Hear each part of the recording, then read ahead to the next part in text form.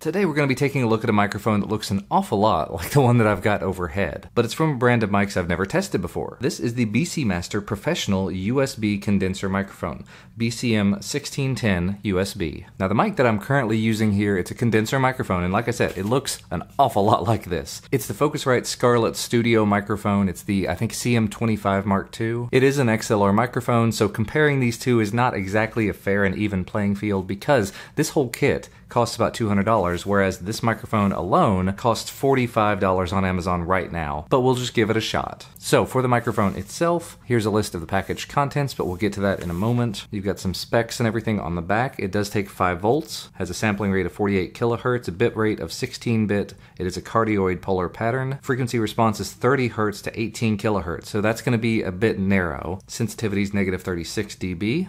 It does have a low cut filter built in, a switch on it. Signal to noise ratio is 74 dB. And of course, you can always pause it here and just take a look at all the rest of the specs if you'd like. But let's dive into it.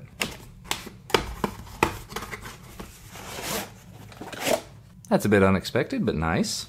It does come with a hard side plastic case. And inside of that case, it's got foam padding all over. Got the instruction manual, warranty card, what feels like a very thick USB cable, and this is USB A, a mini tripod with the microphone stand and the adapter and everything. And they just screw together like this. There's also a pop filter that was kind of squished up in here and then the microphone itself. And as you can see on the front of it here, it shows that cardioid polar pattern. It has that low frequency roll off switch here, so you can just flip that on. Switch seems to be okay.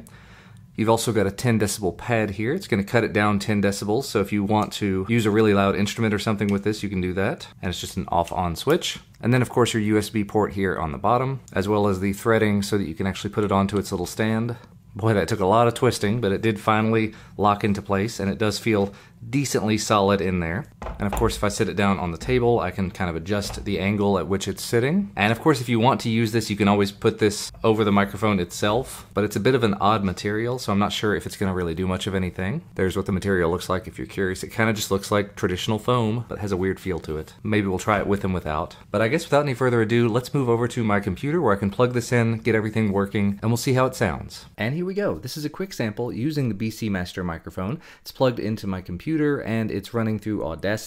I set it up to 48 kilohertz and I am sitting about 18 inches away from it. If you want it to be a little bit better quality, you'll want to be a little closer to it. So now I'm about less than six inches away from it. So it should be a lot louder as well as a lot more pronounced in terms of the very deep notes. I did a very, very brief test with this and it didn't sound all that terrible. It didn't sound like there was all that much hiss or background noise, but we'll stop and let you hear.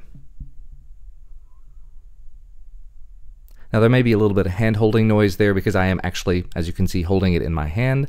And I guess just to sort of test the polar pattern and everything, I probably ought to spin it. So I'm turning it around, testing the polar pattern. This is kind of what Aunt Bandrew from Podcastage does. We'll spin it on around and we'll keep testing, see if there's a bunch of hand holding noise too. And we'll turn it up this way to see how that sounds as well. And I can see from the computer itself that it is definitely changing when you go off axis. And of course, the closer I am to it, the more it sort of spikes, but it's never going all that loud. It is coming through as a mono signal though, so do keep that in mind. You may have to duplicate it in post. Let's see if these switches also make a difference as well. So we'll go from the flat to the low end roll off. And now this should be with the low end, the bassiness rolled off, the rumbliness rolled off.